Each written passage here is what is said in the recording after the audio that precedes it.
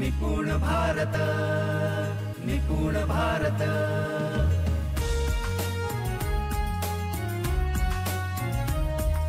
निपुण भारत निपुण भारत. नमस्कार मित्रमैत्रिणींनो. भविष्यवेधी शिक्षण विचार प्रक्रिया समजून घेत असताना मुलांना एक शिक्षकच फक्त प्रेरित करू शकतो असं नाही तर पालक म्हणून आपण देखील आपल्या मुलांना शिकण्यासाठी प्रेरित करू शकतो. त्यांच्या आजूबाजूला घडणाऱ्या कृती खेळ यांना देखील आपण अभ्यासाशी जोडू शकतो आणि मुलांना स्वतः शिकण्यास प्रेरित करू शकतो.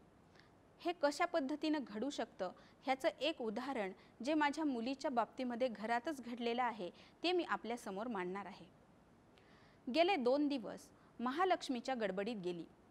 छोटी अभिश्री एकतर मोबाईलवर गेम खेळण्यात व्यस्त होती किंवा आई तू माझ्याशी काहीतरी खेळ ना यासारखी कामं काय करत राहतेस? अशी भुनभुन करत होती. मग मी तिला झेड पी लाईव्ह एज्युकेशनवरचा सुनीता लहाने मॅडमचा लेसन लावून दिला. ती सलग एक ते दीड तास त्यात रमून गेली. लहान मोठ्या संख्या पुढच्या मागच्या संख्या चढता उतरता क्रम अशा गोष्टी एन्जॉय केल्या. संख्यांचा लहान मोठेपणा ओळखून चिन्ह देताना आईस्क्रीम कोण खाणार हे पटापट सांगत होती. मग म्हणाली की आई मला अजून एक सुचले. आईस्क्रीम कोण खाणार?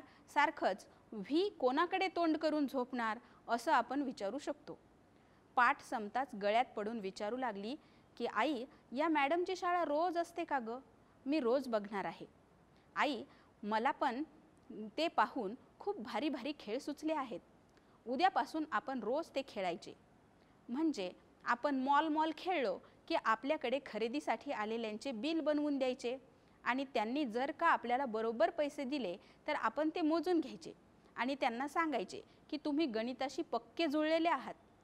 तिचं हे वाक्य ऐकून मी घरात नसून वेद वर्क टीमच्या मीटिंगमध्ये आहे असा मला भास झाला. कारण तिथं आम्ही अशीच जुळवाजुळव करण्यात व्यस्त असतो. आज तिने पुन्हा तोच पाठ पाहिला. आणि मग मला तिच्या डोक्यातले खेळ बाहेर काढत बाहेर खेळायला बसवले.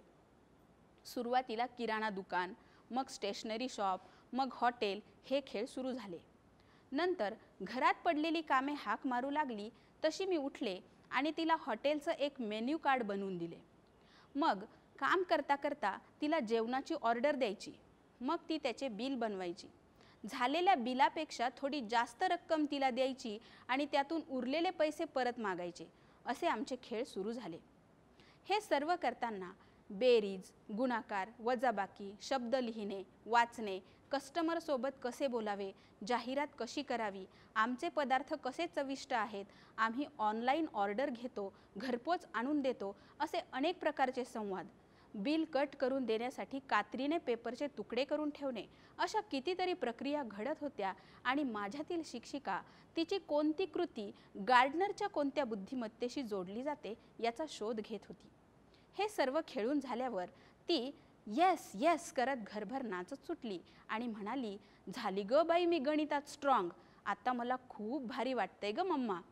पण मला तिच्यापेक्षा किती किती भारी वाटत होतं म्हणून सांगू?